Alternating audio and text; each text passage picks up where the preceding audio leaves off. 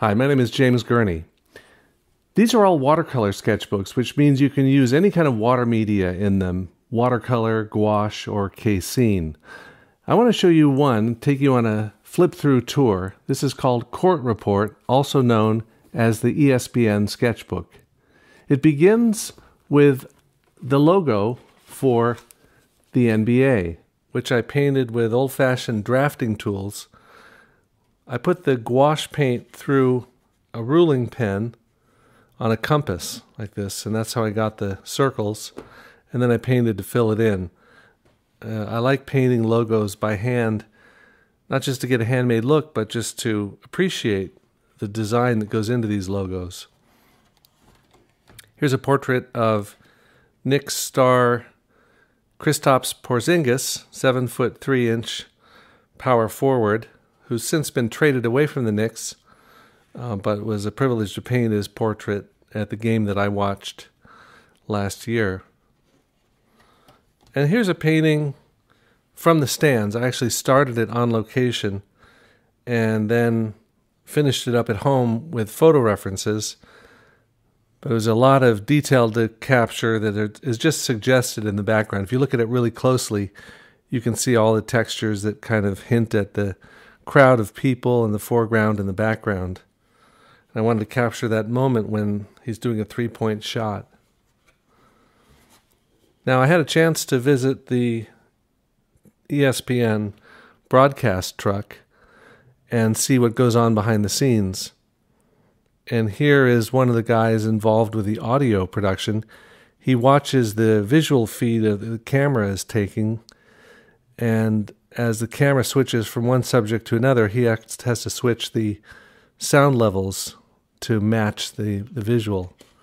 All this takes place in a series of trailers out behind the game. This is Stephen A. Smith, who's an on air commentator on various sports channels. I watched him as he was getting ready for his uh, stand up delivery, and I liked the way he was pitching all his ideas to the camera uh, before the game at courtside. Now, coming home, I painted this on a winter day, keeping my paints from freezing by painting next to a bonfire out in the backyard. And here's a portrait of my son's dog, Smooth, who's a husky mix. He was a rescue who lived in Houston for a while, and uh, I painted his portrait while he watched squirrels out the window all the paintings in here are done from life, including this one of the Hudson River with the ice building up. The Hudson is a tidal river, it goes up and down, so the ice breaks up along the edges in the most interesting ways.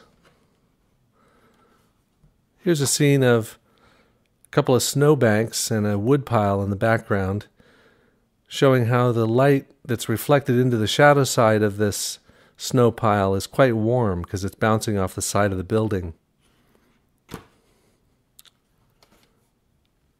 And then here is a, a painting done at the edge of a parking lot. The piles of snow are pushed here by the plows to clear the lot after a snowstorm.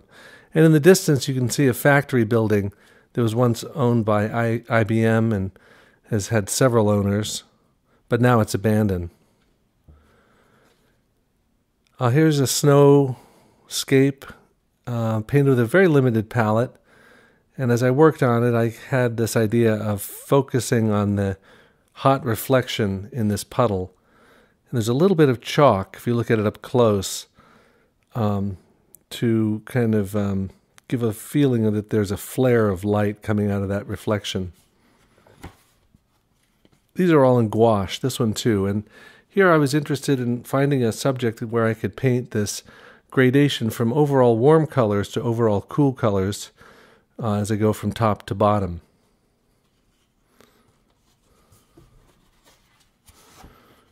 In this painting, I worked over an underpainting color, a greenish color, and that shows itself through in some of the spots, like here at the edge of this window.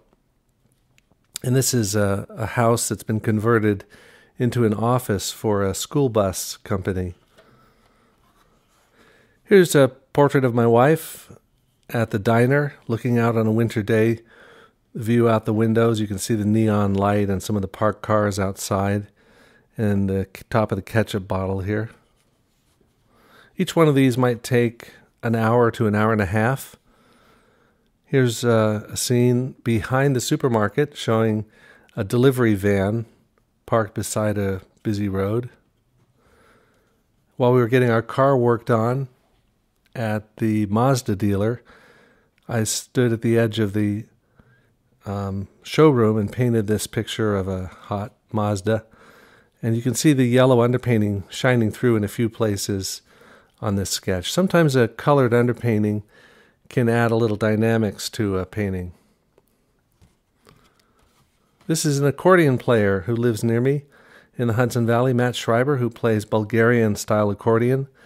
This one's done in pencil, actually a water soluble pencil, so that I could get these wash like effects in the background. Again, working in monochrome, but in gouache this time. A couple of guys at a business breakfast in Washington, D.C., right before the portrait convention.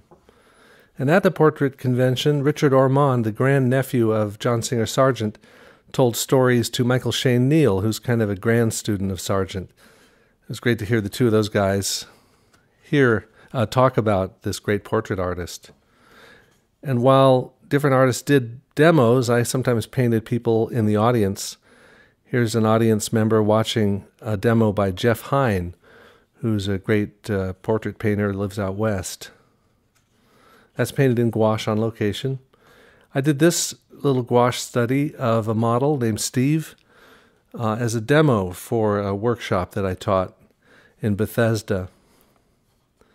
Again, waiting for a car to be worked on, I did a painting here outside the tire place on a rainy day. Now, you can paint in gouache on a rainy day as long as you have a cover over the rain so it's not landing on the on the painting itself. It does take a while for the paint to dry, and I was picking up on the reflections of the headlights in the wet pavement. Here are a few little sketches. Uh, one of the horses at the farm near us, someone looking at their cell phone, and a guy eating a, a wrap in New York City. All this from painted from life. And then while my wife shops for groceries, I often paint something in the parking lot. You can see the green color through this uh, glass of the car. Glass often turns things green, and that fascinates me to try to capture that.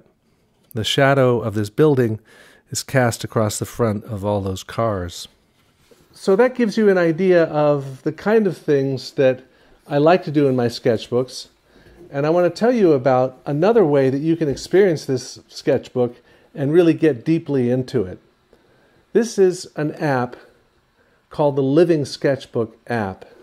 And it's a multi platform app that takes the sketchbook and turns it into an experience that you can have on an Android or an Apple device. You can scroll through it just like you're looking through a sketchbook, but you can also scale way into it and look at the finest detail of the grain of the paper, every little paint stroke, and as you're looking through it, you can listen to me talking about it. Number five, three pointer. Now, sitting back in the bleachers and watching the game is incredibly exciting.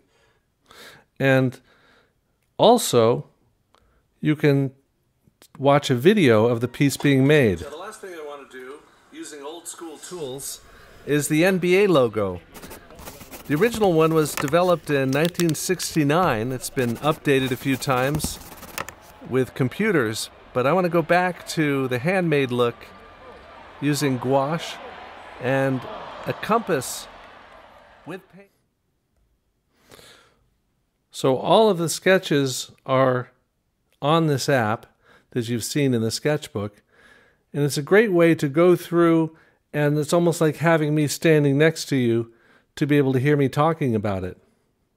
Once I set up the big tones for this picture the sky, the mountains, the building, the snow areas, and the parking lot I could really focus in on the smaller details and textures which really occupy one's interest when you look at this picture. I love the immense amount of detail on that So that's the app, and I'll put links in the description to give you more information about how to get the app for Court Report and for the previous ones, Boyhood Home and Metro North. And it gives you an idea of how important sketching is to me as a record of adventure, as a doorway to discovery. Okay, thanks for watching. You might want to check out my website or subscribe to my channel. And then here's a playlist with more good stuff and a video that continues the story. So check them out and share with your friends.